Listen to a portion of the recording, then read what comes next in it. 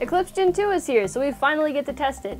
Gen 1 was out for such a short time before this was announced, and we only like to test things once, so we wait for the final versions. Sorry, Phil.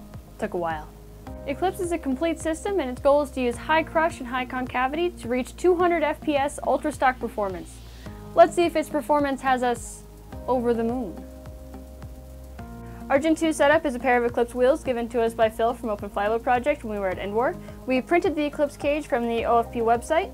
The motors are Fang revamps and we used a Kelly Industries motor board to help us solder. There's also some rubber noise reduction pads in there, but those didn't help too much on 3S. It sounds like a police siren when you rev it up.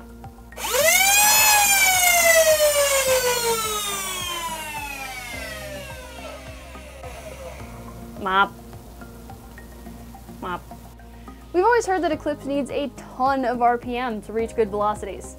Overvolted to 3S, we got these FPS numbers with their respective dart types. As you can see, AccuFake's got by far the best numbers, but that's likely because of their lightweight. We also tested 10 of each dart outside at 50-ish feet just to see how darts actually perform at these speeds.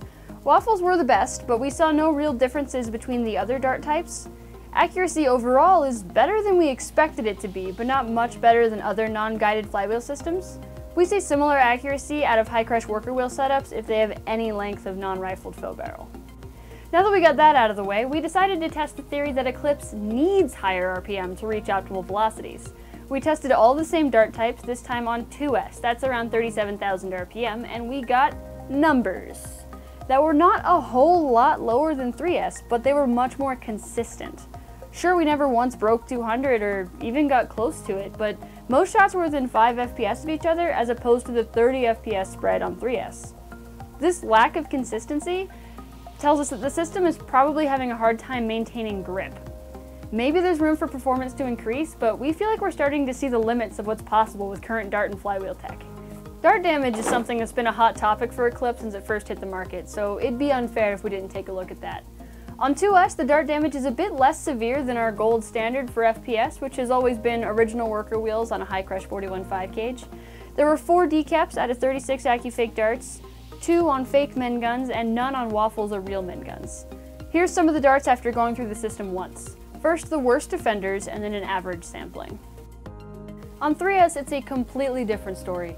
The carnage is real. Every single dart type suffered heavy casualties here with at least 3 decaps, but up to 7 with Lightake darts. Your glue doesn't stand a chance. This rips foam apart. It's a dart killer. Given the minor increase in FPS, we don't feel overvolting to 3S is viable given a good chunk of your darts will just end up being heads and tips going in directions other than where you were actually aiming. Add in you'll need ear protection to even use this thing on 3S, it's clear it's not worth it. Unless you're an extreme min-maxer.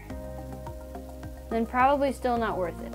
Overall, we feel the 2 in Gen 2 should stand for 2S, as in Fang revamps on 2S. Sure, we're biased, but the ball bearings and slim batteries are really nice, as well as not having to use a MOSFET. Plus, there's something incredibly cool about a 175 FPS blaster that looks completely stock. Hashtag sleeper style. All that said, this comes with a huge caveat. Installation of the wheels is not easy. They absolutely must be aligned within a fraction of a millimeter if the system's going to work properly. On top of that, the shaft fit is very tight and we had to use our drill press to push them on. We do not recommend this system for anyone other than the very advanced modder. If you're new to modding or you've only done a couple of blasters, get someone to help you with this. If you mess up putting the wheels on, you can easily bend a shaft, break a motor, mess up the cage, mess up the wheels, mess up your alignment, there's an installation tool, but it's far from foolproof. This is just some of the installations we've done in the past nine months, and we're telling you this is hard. Thank you so much for watching. There's a link in the description for our complete testing spreadsheet. Also, follow Open Flywheel Project on Facebook for updates on availability. Bye!